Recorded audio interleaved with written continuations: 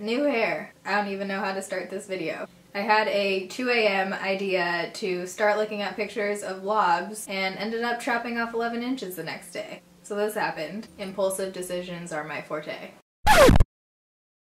So this video is just going to be showing you guys the new cut and also how I dye my hair. I color my hair at home, I have for years. If you have dark hair, it's so easy to do yourself. This is just what I do. I'm gonna start out with how I dye my hair and then you guys will see how my hair used to look and then I'm gonna go into what my hair looks like now.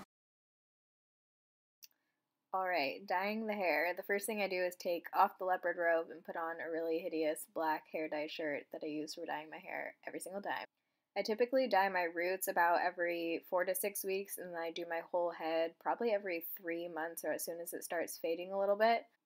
I usually switch off between different hair dyes. It's really easy to test out different ones with black hair dye. Today I'm using eSalon, which is freaking awesome. You basically go online, take a hair quiz, they match you with an expert colorist, and they basically create a custom color for your hair. So mine is soft black with a tint of blue on the roots and then a blue gloss on the rest of my hair. So they formulated two separate bottles for me and it only costs 20 bucks, which I feel like is so cheap. You guys can get 50% off, so you can get your first one for $10 with the link in the description box, which is insane, like as cheap as a box dye. You're basically getting professional grade hair color and advice. You just dye it at home yourself.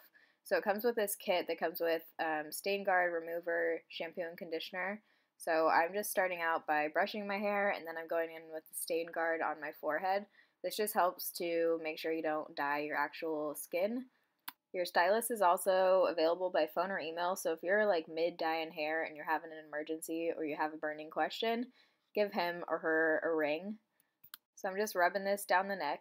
Since I dye my hair darker than my natural color, which is like a strawberry blonde, I always start out with the roots. So I'm using a 20 volume developer and then the root color.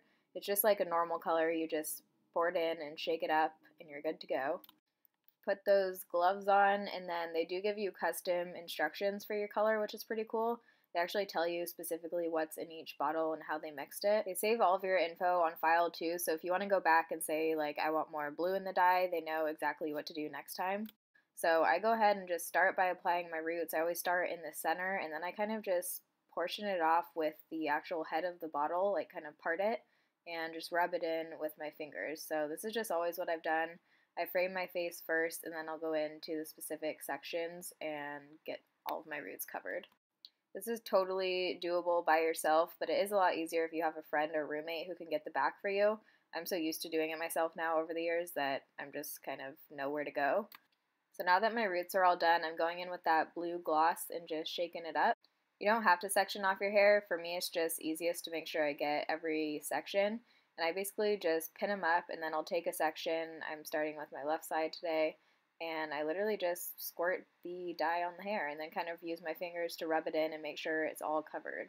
While I'm waiting for my color to develop, I usually pluck the brows and do all the things that I've been procrastinating doing. So I washed my hair with the shampoo and conditioner that came in the box, and here's what the color looks I was blow drying my hair this day, so I'm just putting in some heat protectant and this smells so freaking amazing. This is by eSalon and it smells like a perfume. It says it has antioxidants and vitamin B5 in it, so it'll help your color from fading as well. Then I'm going in with the anti-frizz serum, and I don't like to put this on my roots, but I just put it from about my ear length down. Since my hair is super thick and naturally wavy, I definitely always put some kind of smoothing product or oil in to help with the frizz situation. Super happy with how the color turned out. I feel like especially in natural lighting, it has a really nice blue tint to it. This video was filmed over like a couple weeks span. So this is how the hair dye looks after two weeks. I wash my hair about two to three times a week. Three times is very generous, probably two times a week. My hair doesn't get super oily, so I just dry shampoo it up and we're good to go but this is how the color looks. It looks super shiny and healthy. I love the color. It's staying in really well and I think it has the perfect amount of like a bluish tint to it. When I'm outside, you can definitely see the blue tint a little bit more. Super genuinely happy with the color. I will be repurchasing eSalon for sure. I really like that when I wash my hair, a ton of color doesn't come out in the tub. I feel like when I use my box dyes, every time I wash my hair, it's like black liquid pouring down the drain. When I've been washing my hair, not a whole lot has been coming out. So I feel like it's just staying in my hair really well. Okay, so now that we are 11 inches shorter, so I'm going to insert the pictures right here that I showed my hairstylist what I wanted. I feel like that's helpful if you're going for the same kind of look. I basically just like Instagrammed long bobs for two hours at 2 a.m. It was a good time. I am definitely still in shock mode. Like I was sitting in the chair and my hairstylist Danielle was like, are you ready for this? I don't think I really processed what I was doing until after 11 inches had been chopped off my hair. But I donated it to Locks of Love and the charity that that salon donates to is a children's wig donation. I do like it. I feel like I'm still getting used to it and the cut isn't exactly what I want yet. I'm actually going to be going in in a few days back to her to have her just thin out the back a little bit because I'll show you guys basically angle it a little bit more. Like I want there to be a clear angle in the front. And then also my hair is so thick that it just is way too heavy and like chunky in the back. So I'm going to have her thin it out a bit. I'm going to show you guys the back now.